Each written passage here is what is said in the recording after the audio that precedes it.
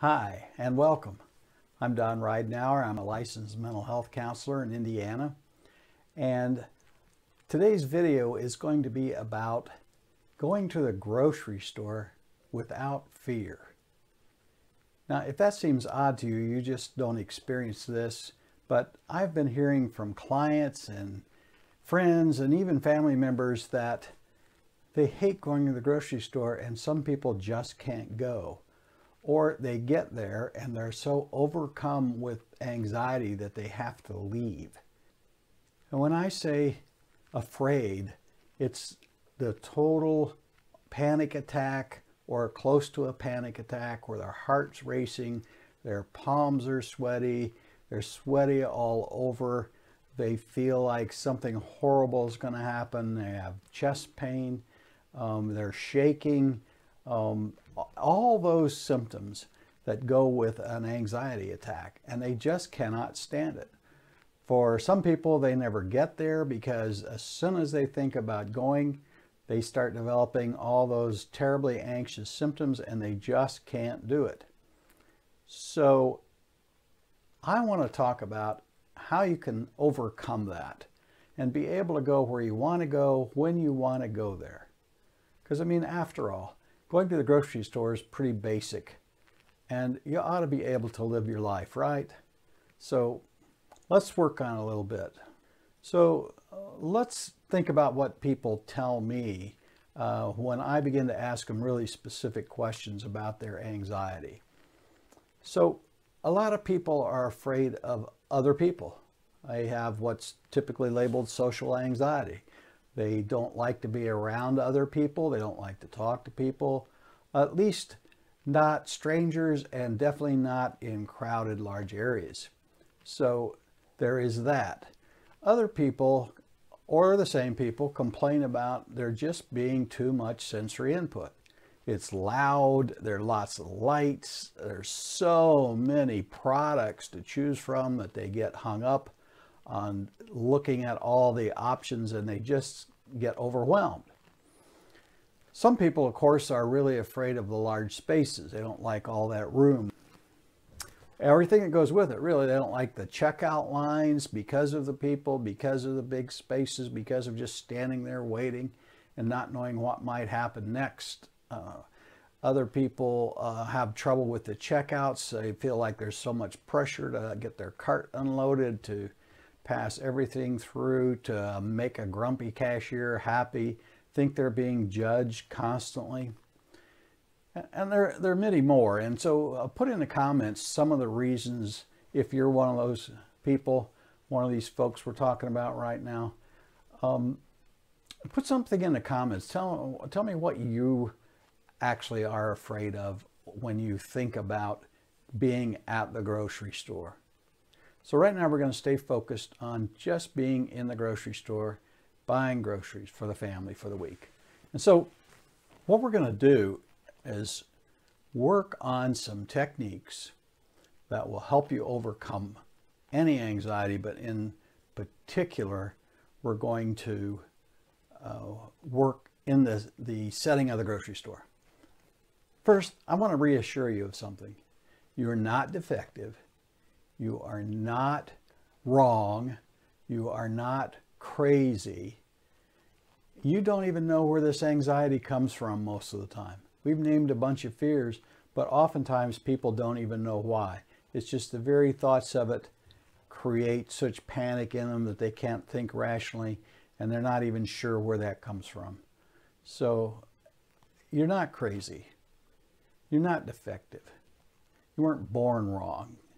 It's not bad genetics. Somewhere along the line, you've learned to be what we usually refer to as hypervigilant. And that just means you're paying incredible attention to every detail around you out of fear. The fear that if you that something bad's going to happen and if you don't pay attention and you're not watching constantly over your shoulder and behind you and all around you that something is going to overwhelm you and where does that come from? Well, it can come from a lot of places. It can come from childhood trauma. It can come from a traumatic event in some similar kind of, of area or place.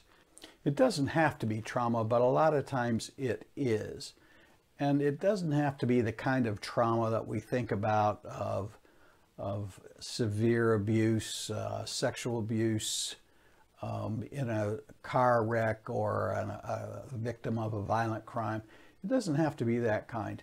It can be the daily emotional impact of being told you're wrong, that your feelings are wrong, that your reactions are wrong, that uh, people, typically your parents, were never satisfied with what you did. You were never good enough and you were never acceptable to them and you tried like crazy. You wanted your parents to love you and take care of you, and you tried like crazy to please them, and you could not figure it out.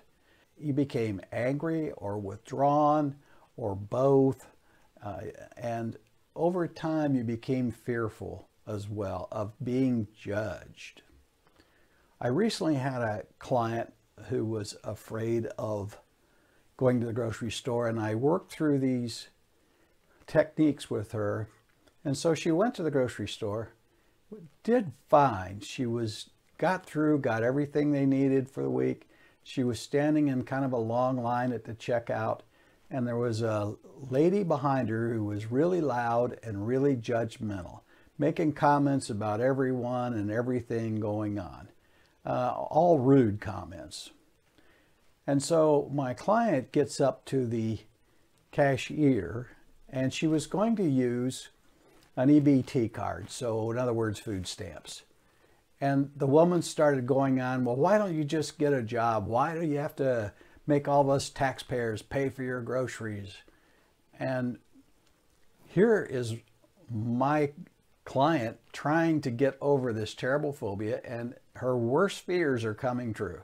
She's standing there at the cashier's uh, trying to get her groceries processed, trying to get paid for it, uh, being embarrassed by this loud lady who's criticizing everything she's doing and everything about her, even though the lady knows nothing about her. She didn't know her husband was working three jobs. She didn't know they had five kids. She didn't know that they just couldn't make ends meet. And they were doing the very best they knew how to do, and the food stamps were helping them survive. She didn't know any of that, didn't care about any of that, was just judgmental with her own stereotypical thinking. And so my client gets really upset and finally goes, You better shut up. I'm about to go off on you, with some profanity thrown in, which she was very embarrassed about later. And everybody around was stunned. There was quiet. She finished checking out, took her groceries, and left. And when she came in to see me and was relating all this to me, she says, now I can't go back there. I said, really? Why is that? She says, oh, everybody's going to be judging me. I'm be so embarrassed. I said, you have got to be kidding me. You are a hero in that store. Everybody who was in line hated that lady. And you stood up to her and stood up for yourself and you're going to be the hero of all those people, but especially the cashier, who was probably dying laughing inside. Maybe outside, but she didn't tell me that.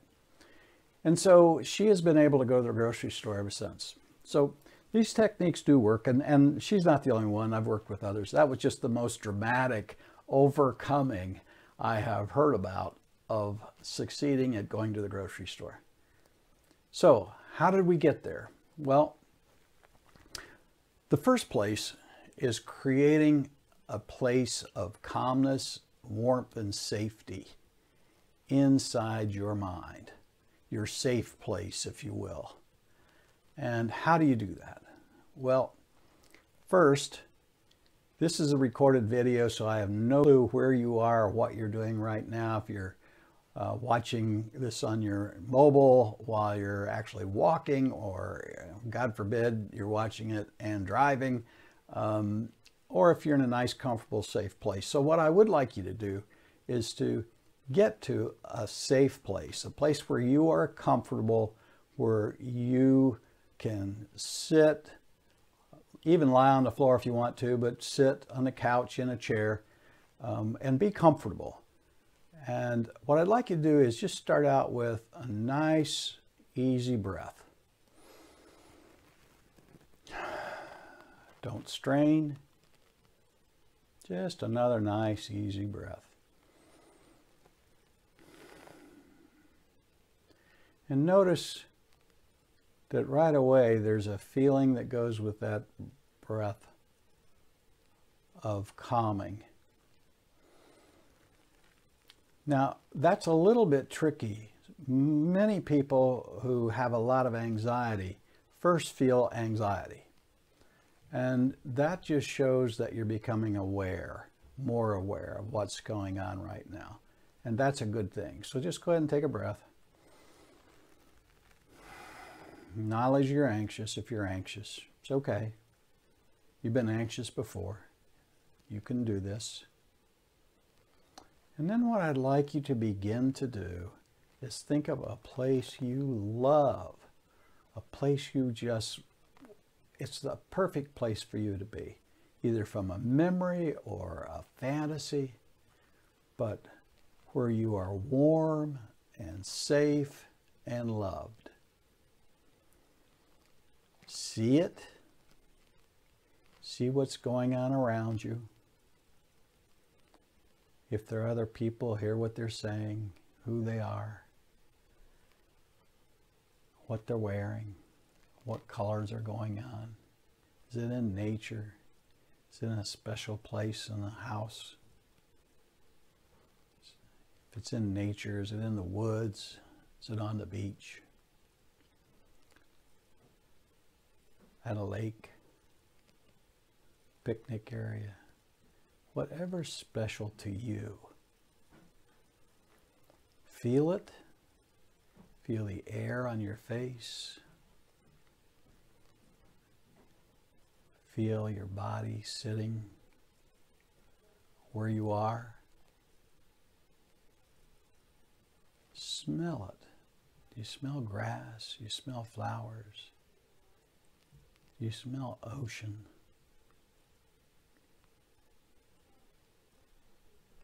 What do you smell? What do you feel? Feel that air. Maybe it's wind. Maybe you hear the trees rustling, waves crashing, or just the pleasant quietness. Maybe some birds in the background. You know. I don't know. I know my place, but you know yours. Nobody can hurt you there. Be safe there. Feel that warmth, that safety, that calmness. Very good. Let that build. When you have it firmly and clearly in mind, just give it a name. Call it vacation. Call it beach, call it woods. Just give it a name.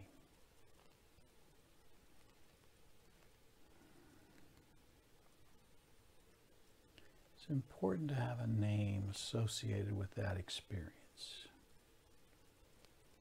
So now I want you to refocus, be right back here, live, in person, uh, breathing normally, feeling normally and reflect on that for a minute. How was that? And leave some comments for me about what that was like for you.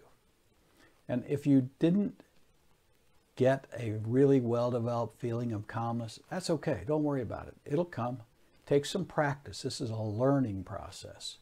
And so allow yourself to just be you and do whatever you're able to do at this time. And you could build on it each time. So how do we do that? Well, first thing is say that word. Call it. What's that name? Was it Woods?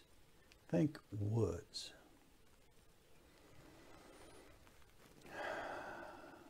Take a nice breath. Be back there. Wherever that place is for you, be there. Again, say the name. Beach. Whatever your name for it is, and relax. Feel the calmness.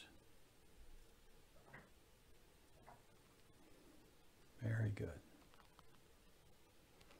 Now, while you're enjoying that place, I want to say some things about grocery stores. Now, if your anxiety level started to climb immediately, that's okay. Acknowledge it. Take a nice full breath again. Say that word, that key word. Be there. And so a whole different part of your mind is going to think about grocery stores for just a minute. And think about it's just people. It's just a place. It's just a place with lots and lots of stuff to eat, use. And you only need some of them.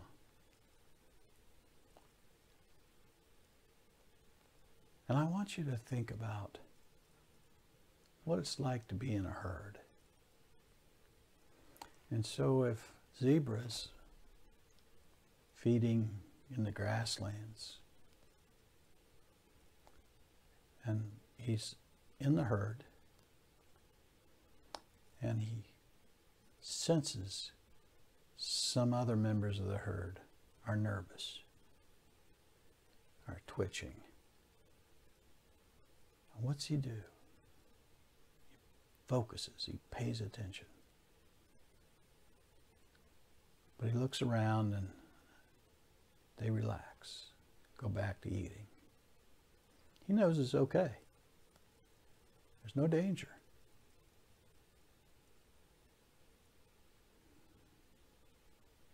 We can do that. So if we're in a grocery store and you walk in and you look around and you pause and you breathe and you see how everybody is. What's the state of the herd in the grocery store? Are they panicked? Are they running? Are they just going about shopping? This is a time when you can decide whether to be hyper vigilant or not. You look around, nobody's running, there's no panic, there's no yelling, maybe loud talking, mostly murmuring. And you know it's okay. Because if there was danger, they would not be there. Another nice, easy breath. Stay in your safe place. So you know that if you go into the grocery store and you're going up and down the aisles, and everything seems fine. But if an alarm goes off or people suddenly start yelling and running, you will too. Almost never happens. It's rare, very rare. And so you go in and you begin to take your cart and go look for the things you need from your list. And you take nice, easy breaths and you focus on your list.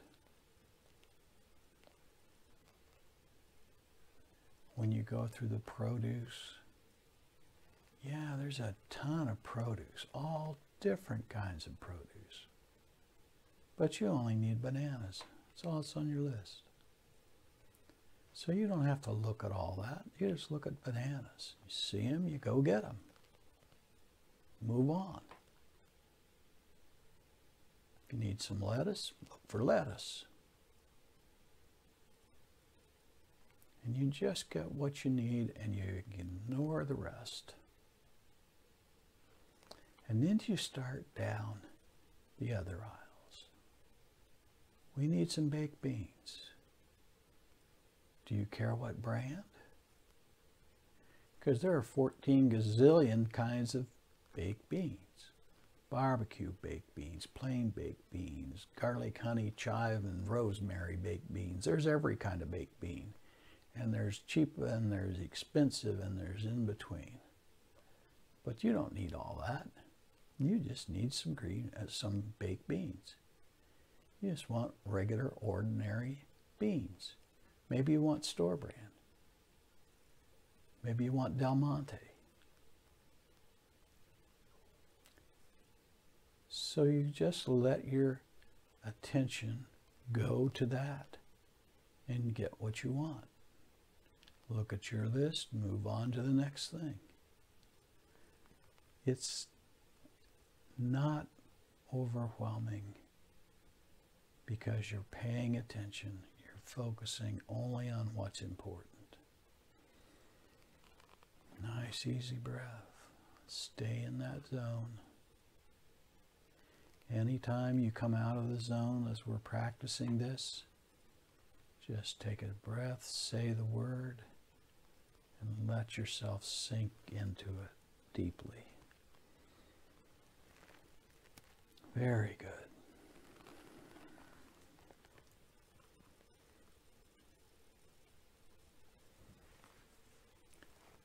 So that's when you're in the store, but let's back up and go home. You're back there in your home. You're relaxed. You're in your safe place. Nice, easy breath. So let's practice. You're going to go to the grocery store. Don't want to, wish you didn't have to, but you do. So you're going to get your list, get your purse, get your wallet, get your keys, jacket, raincoat, whatever you need. And you get everything. And you take a nice, easy breath. And you go to the door. And before you open the door and step out, nice, easy breath. Say the word and go to your safe place inside. And isn't it interesting how you can stay in that safe place, be in the woods or at the beach, in some part of your mind, while you open the door and step out of the house and go to your car. You can get in your car and you can start it up and put your seatbelt on and adjust the mirrors and whatever you do, it's automatic. You've done it so many times. And then you can pull out, drive to the store, find a parking place. Take just a minute to close your eyes, say the word, Remind yourself, I can do this. I can do this. And you're going to feel a little anxiety. You're going to wait till that subsides. Then you're going to open the car door and get out and start walking towards the door. You can just walk right in and go on about your business. Or if you need to, you can stop right outside the door, gather yourself, say the word, step inside. Do that again. Get a cart. Sanitize it if you want. And start in looking for the first things. You can continue. Now, just like when you're asleep, and someone calls your name and you wake up, the part of your mind that hears all the background noises will alert you if there's ever any reason to be afraid. So you can trust that. It absolutely will not fail you. And so you can just go at your pace Nobody else's pace matters to you, your pace. They go their pace, you go yours.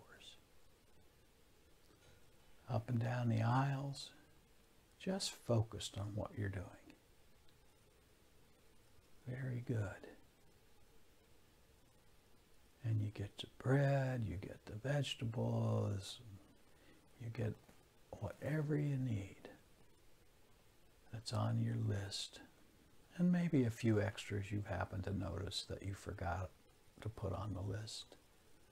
And then you go up to the checkout. And maybe you have to wait. That's okay. Waiting's a good time to be back in your safe place and tune out the store. You'll notice when it's your turn. And then you just move up in the line. And you just start unloading your cart when the time's right. You don't have to rush. You're not in anybody's way. Everybody knows each person gets a turn. And you're just as important as anyone else. You take the time you need to unload your cart and let the cashier do it, or if you're using the self checkout,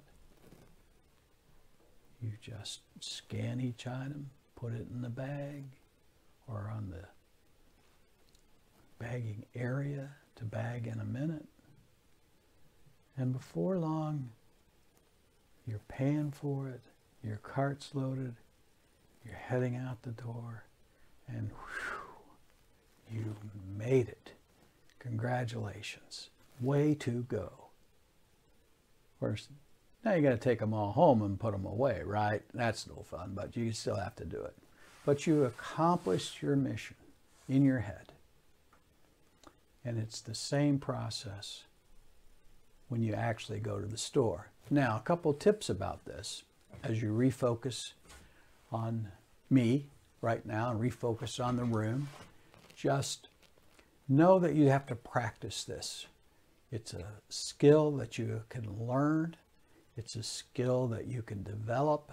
And once you begin to do that, you can put it into practice. You could do it today because you can do that. You have it within you to be calm, to overcome anxiety, and to go to the grocery store. And isn't that a success? Isn't that a triumph for you? So enjoy it and celebrate it.